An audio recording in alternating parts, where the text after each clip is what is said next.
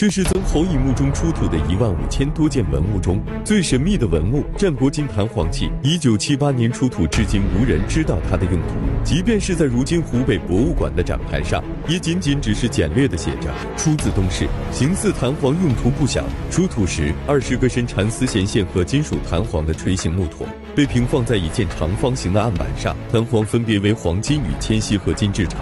其中金弹簧有两坨，西铅弹簧十八坨。金弹簧一共分为四百六十二段，每一段弹簧长两厘米，重量在一点三到一点五克之间。因为质地偏软，所以仅具弹簧外形却并无弹性。到底是何用途？至今仍是未解之谜。土豪一哥的世界真是让人猜不透。